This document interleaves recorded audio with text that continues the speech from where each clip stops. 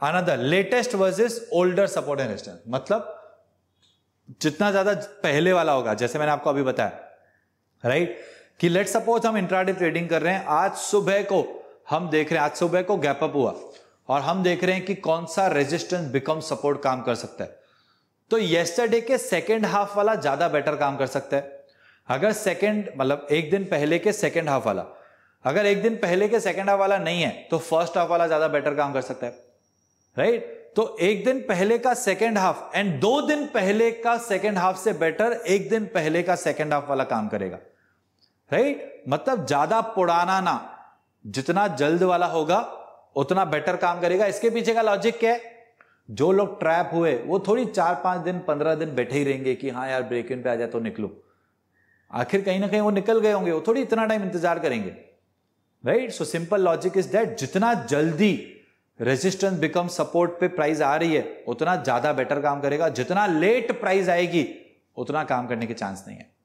हमारा recently options का session हुआ था right Nifty and bank Nifty में।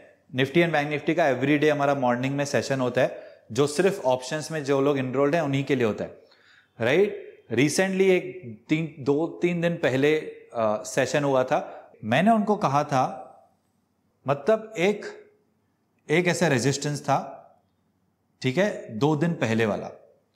उसके बाद एक दिन पहले वाला इस तरीके से रेजिस्टेंस था, ठीक है? और दो दिन पहले वाला इस तरीके से रेजिस्टेंस था कुछ तो ठीक है?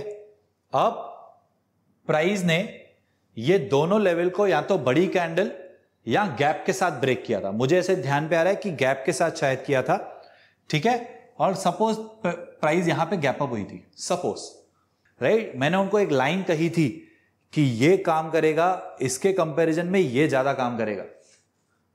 Right this was my line okay what was the logic behind this दो लॉजिक्स हैं।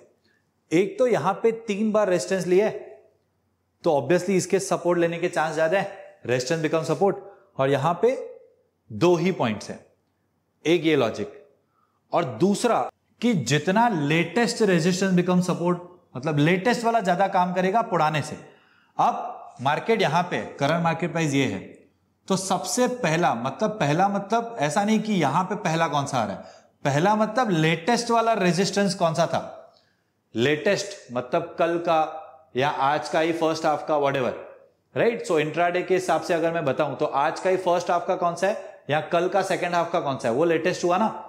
राइट? तो ये कल का था और ये परसों का था। ठीक है? तो मैंने उनको कहा कि ये कल वाला है ना? एक तो ये कल वाला है और दूसरे ये तीन पॉइंटर्स है। तो इसके काम करने के चांसेस ज़्यादा है। ठीक है? और यहाँ पे प्राइस आई थी, ये रेजिस्टेंस बिकम सपोर्ट को काम नहीं किया और ये रेजिस्टेंस बिकम सपोर्ट से हवा में उठते चली गई price and literally members were shocked कि यार ये क्या पॉइंट बताई? और यहीं से सीधा उड़ने लगी थी प्राइस मतलब ये रेजिस्टेंस बिकम सपोर्ट काम नहीं किया था, ये वाला काम किया था। लॉजिक क्या इसके पीछे लॉजिक सिंपल है गाइस ये दो दिन तक थोड़ी रुके रहेंगे ब्रेक इवन पे निकलने के लिए। लेकिन कल वाले रुके रह सकते हैं ब्रेक इवन पे निकलने के लिए।